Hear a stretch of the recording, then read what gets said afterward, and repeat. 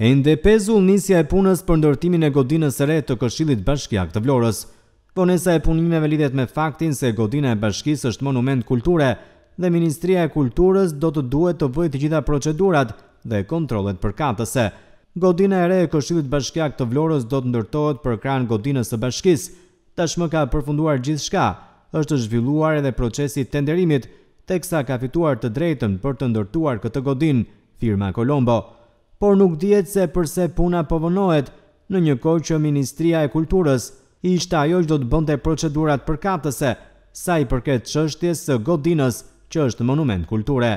Ende nuk kanë nisur punimet për godinën e re të Këshillit Bashkiak të Vlorës. Nëse do të nisnin, ato do të përfundonin tre muaj pasi të startonin, pra afati i zgjatjes së punimeve është pikërisht tre muaj.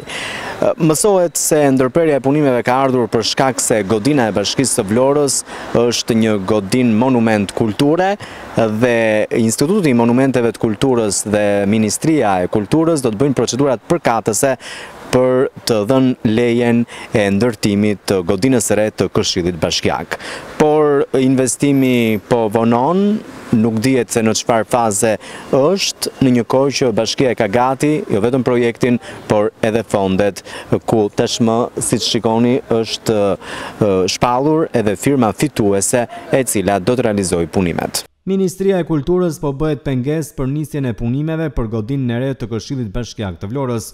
Godina do të jetë moderne, ndërsa parashikohet që punimet të përfundojnë tre muaj pasi ato të nisin, duke i dhënë kështu një pamje dinjitoze Këshillit Bashkiak të Vlorës, apo thënë ndryshe parlamentit vendor që merr vendime të rëndësishme për qytetin.